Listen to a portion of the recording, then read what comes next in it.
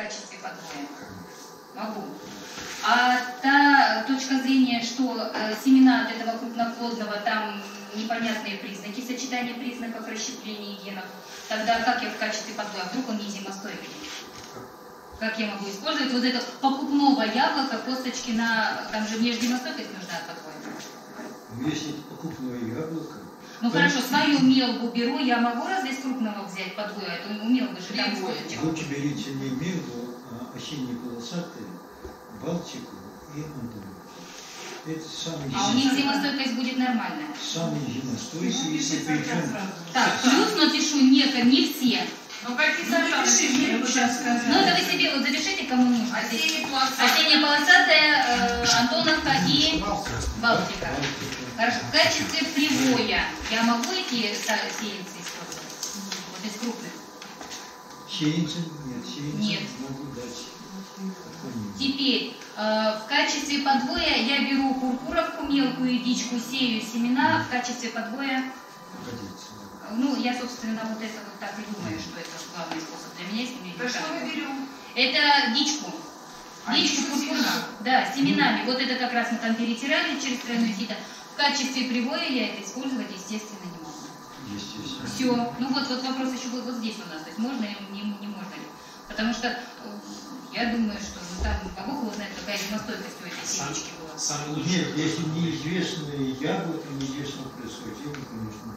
Самый лучший подбой это вот это. Это то, что это уже стабильный комплекс э, признаков у старых отобранных сортов, как Антон, как Полосатка, веками выращивают. У них эти признаки более стабильно могут передаваться своему э, семейному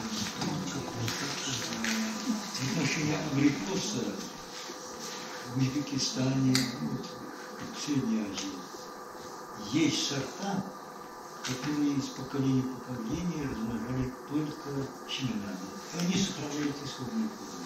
А, С берегов Енисея, а, так, косточковые пишу, а, данные, много кто у нас просто так э, экспериментирует, и такие садоводы достаточно существенные, ну, ответственные, скажем так.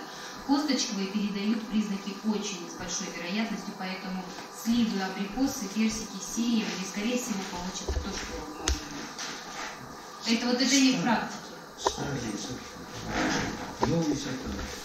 Недавно давать сохранения. Поэтому очень часто вот сейчас селекционеры выводят сорт и скорее, скорее получить авторство выдают уже не обкатанный. Он должен несколько поколений пройти через У нас с нашими абрикосами такая тема. Э, Везем с Омска сеянцы абрикосов. Где взяли косточки, потом окольными путями, не знаю, в Саяногорске на базаре. Ну классно, я ведро косточек просто выкинула, а потом я беру эти саженцы. Ну, и почему они так могут? Потому что сеянцы передают принцип. Ну, чуть крупнее, чем но меньше, крупные. Все. А можно еще вопрос вот касательно подвоев, э, да там все нарисовано, А, значит, подвоев вот с дикоросов. А можно ли их клонировать? Вот вдруг у меня получился хороший вот подвой, я вырастил из семечки, да, подвой. Могу ли я сделать из него вот такой вот, Он клоновый подвижник, да? да-да, потом клоновый? Добейтесь сначала, чтобы он мог легко размножаться вегетативно. Мгм. черенками, я не знаю, каким способом, отводками и так далее. Об этом уже говорили, Мгм. снова повторяю. Клоновый подвой должен, кроме прочих свойств, зимостойкости, совместимости и прочих дел, легко укореняться.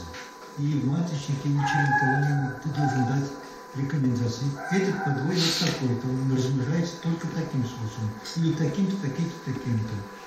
То есть надо катать, знать, насколько он легко размножается. Я понял, это исследование, в общем.